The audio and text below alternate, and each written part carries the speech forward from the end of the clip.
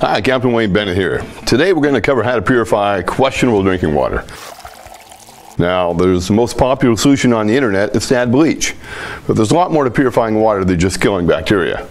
In fact, there are several strikes against bleach as a practical solution. Strike one, it has a short shelf life of only three to six months before losing its potency.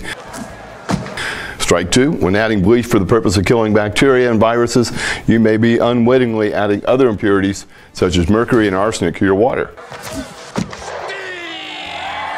Strike three, bleach is not portable or practical or even safe to carry with you. You certainly wouldn't carry a jug of bleach around in your car. So the better solution is a water bottle filter. This water bottle filter solves all the above problems.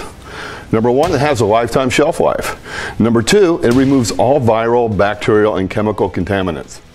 And number three, it's portable. It can travel in your car, store at work, and even in your bug out bag. This 28 ounce water bottle filter removes toxic chemicals, heavy metals, and volatile organic compounds, and things I can't even pronounce, like these. What makes it one of the best solutions is that it filters lake water, swimming pool water to a level of 99.9999% purity. And it's approved by the EPA, FDA, NSF, and the CIA and the FBI. What? What? Okay, I might be getting carried away with the initials, but you get the point.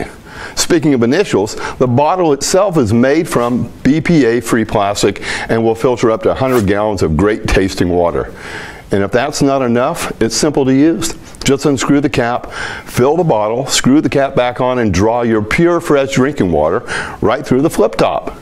To get more detailed information or to make a purchase, just click the link below. And thanks for watching.